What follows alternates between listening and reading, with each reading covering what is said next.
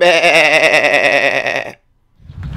right, how to pick a frame for yourself being the noob that you are and all the crashing that you're gonna do and so on and so forth. So I've got here a couple frames. I'll just introduce them to you real quick.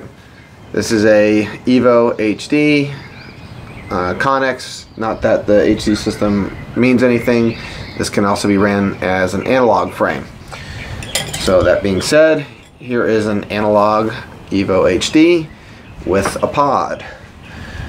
We have the Martian 220. Okay.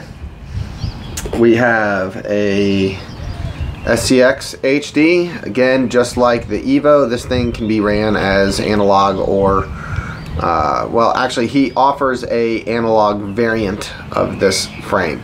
It's a little bit smaller. Um, then we have uh, a ultra minimalist style frame, the Diatone Crusader GT200. And then we have a Stone Blue Airlines Spartan uh, 210X. So uh, all these frames pretty much have uh, you know different characteristics and things about them that I want to uh, point out to you. So if you don't want to hear all the uh, you know technical jargon that I've got to say, the frame that I would recommend you get as a noob is this one right here. This is a Martian 220. Now whether, you know, if, if money's no object and whatever, let's just have this discussion based on that. Uh, you can get the Impulse uh, Alien, uh, Impulse RC Alien. Uh, wonderful frame. Um, this will kind of be, uh, you know, the standard for me when I recommend people frames. And, and I'll just go over it and, and all the things that this thing has, the Impulse Alien RC has, and the Impulse Alien uh, has more options, more amenities than, than what you can just get for this thing. It's also a, a thinner profile, um, and obviously it's going to have much, much, much, much better uh, carbon. So anyway, well, why do I like this frame so much? Okay, a couple reasons. One, it looks good.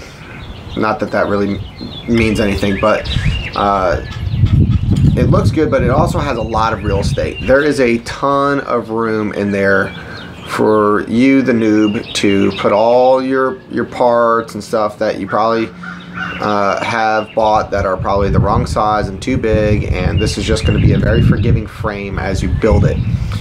Um, but at the top of the list actually is camera protection. This thing has awesome, awesome camera protection. You can see the camera sits down in there behind the top behind the front standoffs and below the top plate. So when you hit a tree or a gate or whatever it is that you're going to hit, your camera's protected, okay?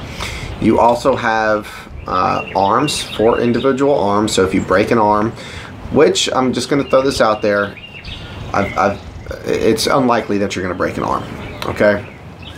I've had this frame for probably six months and beat the crap out of it. I've yet to break an arm. Um, go knock on wood. But you know, I've got friends who've had the Impulse Alien, uh, Impulse RC Alien since the day it came out, and they've beat it all to crap, and they have yet to break an arm. The the quality of carbon that is coming out now that these guys are using is just so much was two years ago when, when you know I was first getting into this. So anyway, it's got a uh, PDB which allows you to do uh, individual ESCs on the arms, which is nice. Uh, it, it um, just makes it very workable. It, it's a very workable frame. It's not the lightest frame, but weight really, you know, it, it's not it's not everything. Um, it has a lot to do with how these things handle.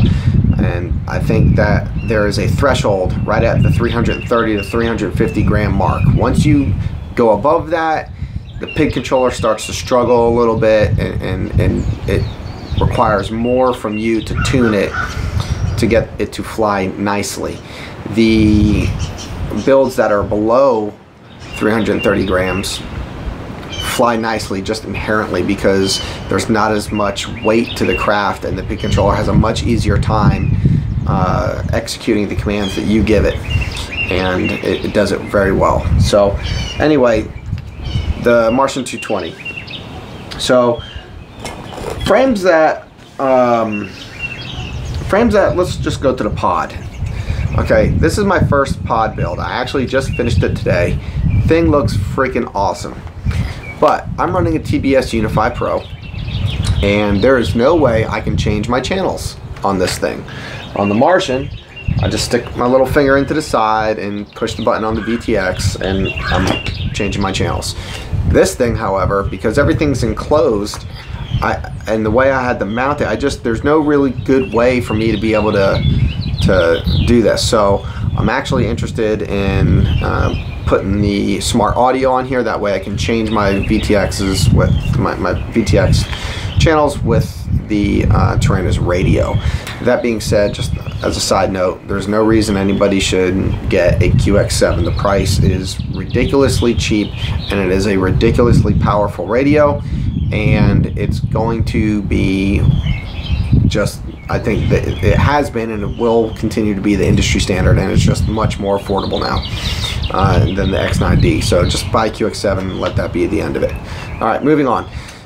You have to uh, give yourself a little bit more wire length when you're cutting this when, when you're cutting the wires because you got to pull this pod off and things are attached to the pod and it just the workability of this thing is not really all that there it's, it's just a pain in the butt okay uh, plain and simple it looks cool it's great but you're the noob and this is a, a pain in the butt to work with so I just would steer you away from something like this okay uh, also you know going back to the whole camera protection thing, this pod, this print is TPU. It's bendable, it's flexible. Whatever this thing hits, the, the camera's hitting it, okay? So, you know, builds like this, and I'll just go ahead and bring this one up next since it's the perfect example of wh what you shouldn't get and why you shouldn't get it. The Crusader GT200. This is a wonderful frame. I've had a couple of them, and uh, this camera is just completely exposed. If you hit anything, this camera is done. Okay, uh, you, you you might could stock a couple uh, extra cases, and maybe you'll get lucky and you won't break the actual PCB, and you can just replace the case and you're off and going, and that's all fine and well. But it's just it's ridiculous uh, for a, a, new person who's going to crash a lot to get this because you're just going to be wasting money on cameras. It's also a pretty technical build, even though everything is integrated, PCB, FC, and the, the low you know profile stack of the VTX that sits on there. Uh, this is actually a customer's uh, build, and he supplied me with a D4R2, and there's just no freaking room in there for the D, D4R2. I'm having trouble getting the camera tilt back, you, you know. So uh, if you're a Spektrum user, and uh, you got a satellite, it'll it'll work. It'll be fine. But you know, if if you're a FrSky guy, just get an XM Plus or uh, an XSR. Even would give you a little bit more room than the uh, X4R. What, what, so, but anyway, this is not a tutorial on part selections. So this frame is just not for you, the beginner. Okay, no matter how sexy, no matter you know how much you want it because it looks cool and it's a racing machine and it's the best of the best and blah blah blah blah blah. It's not for you. You're not there. You're going to wreck a lot. You need a frame that is going to uh, completely encase all of your electronics or important stuff. And um, you know you'll be good. So uh, the SEX, this is another one of those frames that uh, like the um, the Martian has uh, removable arms, replaceable arms, okay? So this is a nice feature to have, okay? Let's just pretend this is not the HD version, okay? So take the blue away and that's pretty much what you're given.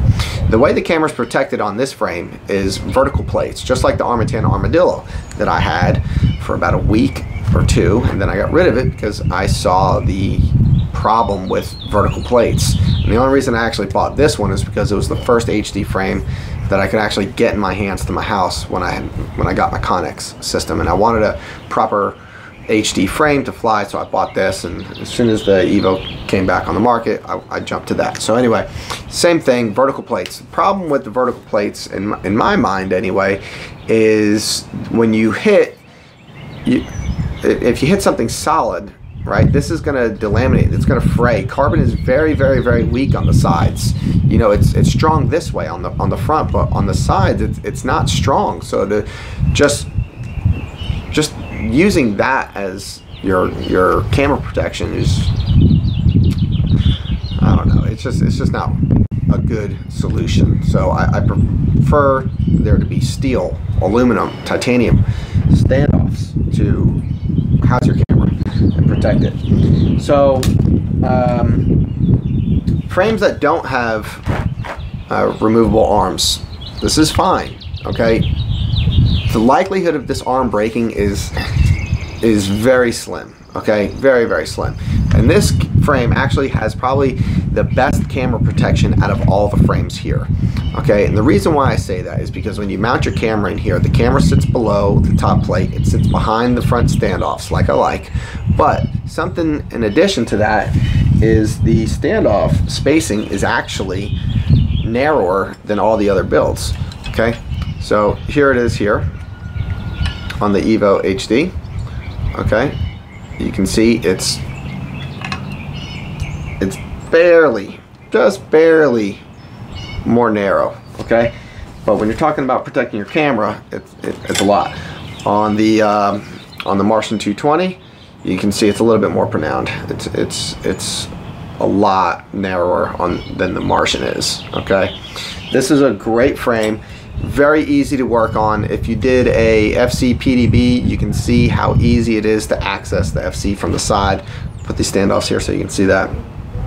Your ESCs mount right to the arms. I mean, this is an incredibly simple frame that is uh, pretty well thought out as well. There's these little XT60 provisions. There's one here, there's one at the front, there's one on the bottom.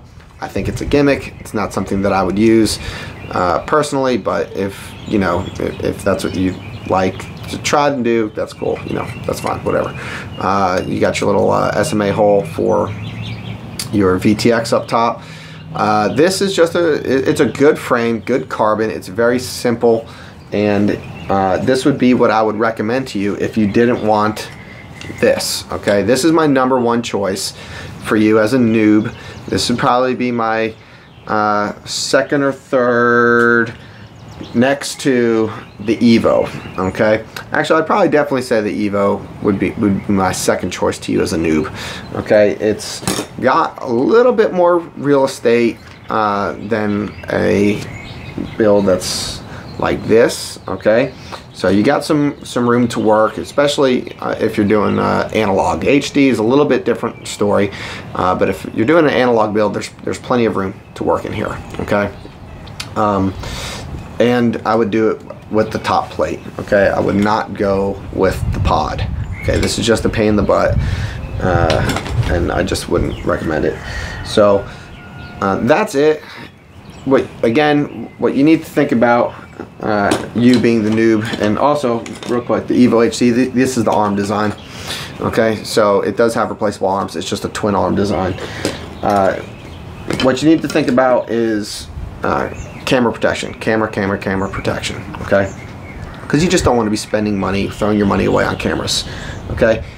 Uh, workability accessibility you know is, is easy to work on.